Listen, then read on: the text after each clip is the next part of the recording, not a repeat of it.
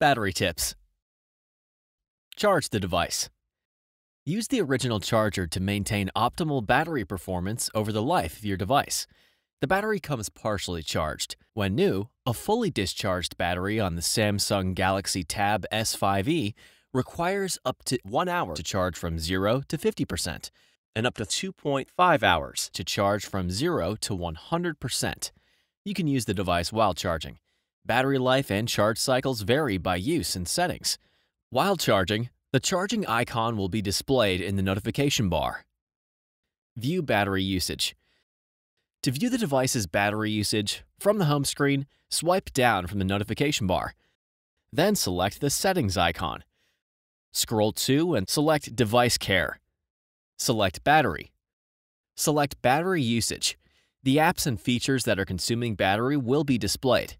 To view the battery usage details of a particular app or feature, select the app or feature under Battery Usage since last full charge. Conserve battery life. To turn on power saving mode, from the battery screen, select Power Mode. Select Medium Power Saving or Maximum Power Saving, then select Apply. To access more display options, from the settings screen, select Display. To disable adaptive brightness, select the Adaptive Brightness switch. To reduce screen brightness, select and drag the brightness slider to the desired brightness setting.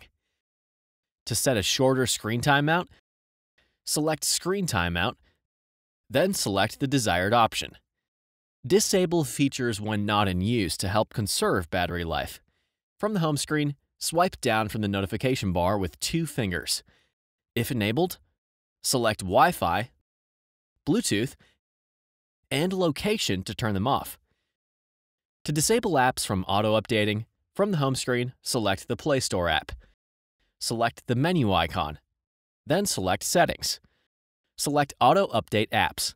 Select Don't Auto Update Apps, then select Done.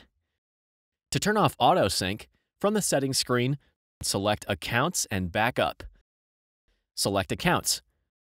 Select the Auto Sync data switch to disable Auto Sync.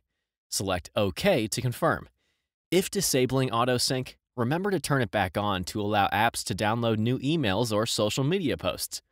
If you are traveling and do not have access to mobile or Wi-Fi networks, switch to airplane mode.